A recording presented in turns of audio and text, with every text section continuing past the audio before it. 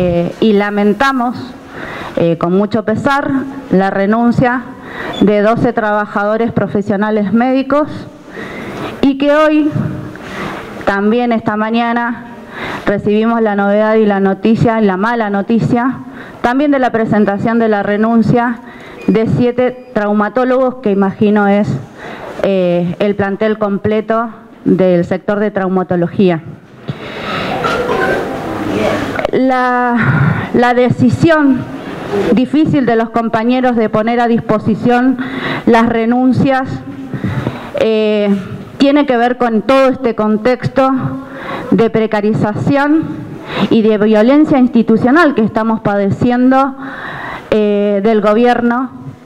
Eh, creo que ya era hora que nos convoquen al diálogo, de darle solución al conflicto y no tener que llegar a esta instancia tan grave que es poner en jaque a los trabajadores que ya no aguantan más, pero sí también la salud de la población y de todo el pueblo rionegrino, porque no solamente el Hospital Sati es el que está eh, en medida de fuerza, sino alrededor de 30 hospitales ahora, en el día de hoy, en toda la provincia. Queremos paritaria sectorial en el lugar que corresponde, con las legalidades que siempre nos exigieron. No el circo que están haciendo hoy. No van a negociar por debajo de la mesa sectorizadamente como ya lo vienen anunciando. Nada más.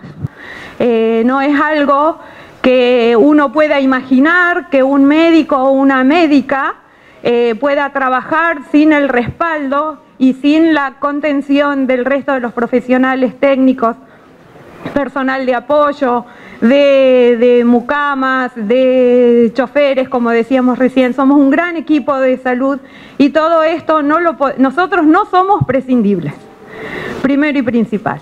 No somos personas de descarte. Somos personas que nos capacitamos diariamente y que hemos hecho de la salud pública un estandarte a fuerza de formación, de dotación de recursos y de capacitación permanente.